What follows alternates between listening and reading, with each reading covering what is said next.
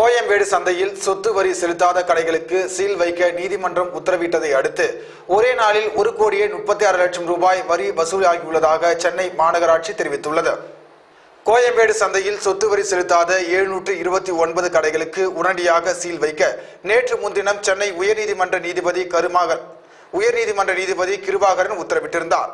அந்த வழக்கின் இன்றைய விசாரணையில் நானூற்று அறுபத்தோரு கடைகளின் உரிமையாளர்கள் சொத்து வரி செலுத்தியுள்ளதாகவும் சிலர் கால அவகாசம் கோரியுள்ளதாகவும் மாநகராட்சி தரப்பில் தெரிவிக்கப்பட்டது. மேலும் சொத்து வரி செலுத்த மறுத்த முப்பத்தி ஒன்பது கடைகளுக்கு சீல் வைக்கப்பட்டிருப்பதையும் மாநகராட்சி சுட்டிக்காட்டியுள்ளது. ஒரே நாளில் ஒரு கோடியே முப்பத்தாறு லட்சம் ரூபாய் வரு ஒரு கோடியே முப்பத்தி ஆறு லட்சம் ரூபாய் வரி வசூலாகியிருப்பதாகவும் தெரிவிக்கப்பட்டது.